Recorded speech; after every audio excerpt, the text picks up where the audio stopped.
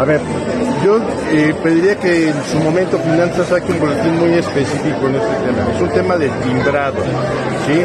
Y algo que tengo entendido no se hizo en su momento y que dejó de gestionarlo con ese tipo de acciones y de condiciones. Sí, entonces yo estoy de, de acuerdo, está en su derecho el Congreso poder llamar a quien tenga que llamar y bueno, en su momento se transparente todas las acciones que se han llevado a cabo y que se han hecho. Profundidad para para detectar si hay alguna otra irregularidad, gobernador, en finanzas? A ver, más que, eh, más que lo que hayamos detectado, son temas que nos van notificando por parte de las autoridades competentes. Y lógicamente la entrega-recepción, bueno, se irá viendo qué es lo que va a salir.